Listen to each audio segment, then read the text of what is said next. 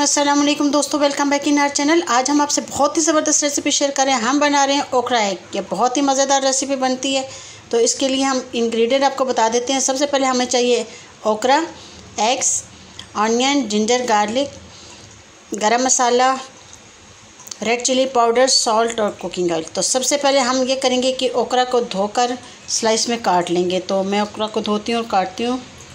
भिंडी को धोकर काट लिया है। अब मैं काटूँगी प्याज, अदरक और लहसुन। ये देखिए, मैंने लहसुन और प्याज को काट लिया और अदरक को मैंने काट के और पेस्ट बना लिया इसका। और ये मेरे पास पड़ा हुआ है टमाटर का पेस्ट इसमें मैंने हरा धनिया डाला हुआ है। ये शुरू करते हैं। सबसे पहले हम फ्राइंग पैन में थोड़ा सा कुकिंग ऑयल ले लेंगे और हम डाल देंगे अदरक और लहसुन को और उनको फ्राई करेंगे हल्का सा। अदरक, लहसुन फ्राई हो गए हैं। अब हम इसमें डालेंगे टमाटर का पेस्ट। का पेस्ट डाल दिया। अब मैं इसमें डालूँगी हाफ़ टी स्पून सॉल्ट और half teaspoon red chilli powder इसको मिक्स करके मैं दो से तीन मिनट के लिए इसको कवर लगा दूँगी।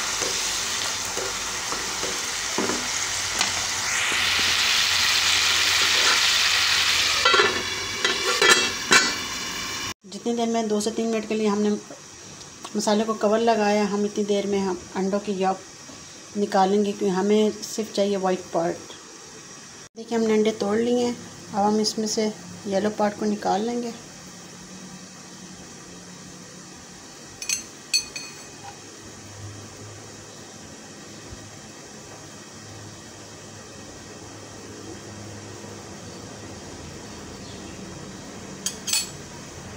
ये देखें सक्सेसफुली हमने इसका येलो पार्ट अलग कर लिया और वाइट पार्ट को अलग कर लिया है।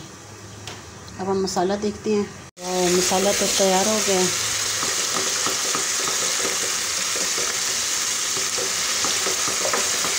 अब ये लहसुन हम हल्का सा इसको ऐसे करेंगे तो ये यहाँ पे इसका पेस्ट बन जाएगा।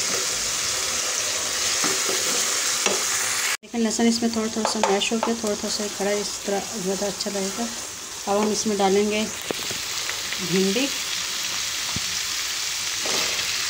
और डालेंगे प्याज।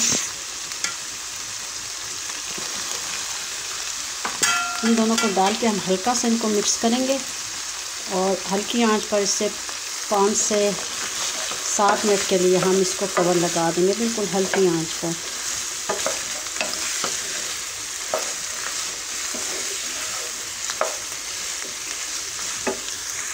हमने अच्छे तरीके से भिंडी और प्याज को मिक्स कर दिया है। अब हम बिल्कुल हल्की सी आँच पर इसको पाँच से सात मिनट के लिए कवर लगा देंगे।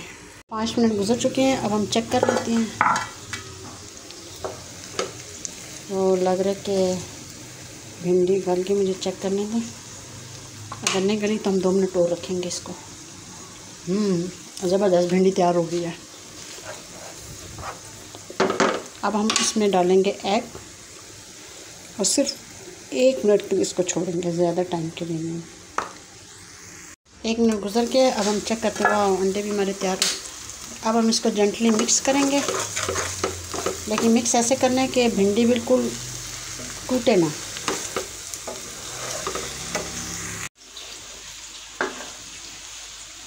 हमने मिक्स मिक्स ऐसे करना है कि भिंडी बिल्कुल टूटे ना। मिक्स भी ये हो जाए। ये देखिए, अच्छे तरीके से मिक्स हो गया। अब हम इसको डिश आउट करेंगे। और फिर हम आपको बताते हैं कि नेक्स्ट स्टेप इसका हमें क्या करना है। ये देखिए, हमने इसको डिश आउट कर लिया। अब हम इसमें डालेंगे ये ऑनियन मैंने थोड़ा सा रख लिया था, जिसके अंदर मैंने नमक लगा के और इसमें साफ़ पानी से मैंने इसको धो लिया थोड़ी देर नमक लगा के रखा तो इसकी जो कड़वाहट है, वो ख़त्म हो गई। अब मैं इसके ऊपर स्प्रिंकल करूँगी ये ऑनियन और गरम मसाला। ये बहुत ही मज़ेदार डिश है। ज़रूर ट्राई कीजिएगा। हम इसको पेश करेंगे बॉइल्ड राइस के साथ। आपको हमारी रेसिपी कैसी लगी कमेंट सेक्शन बताइएगा। वीडियो को लाइक एंड शेयर कीजिएगा। चैनल को सब्सक्राइब कीजिएगा। अपना बहुत सारा ख्याल रखिएगा। नेक्स्ट आने वाली वीडियो तक अल्लाह हाफिज़।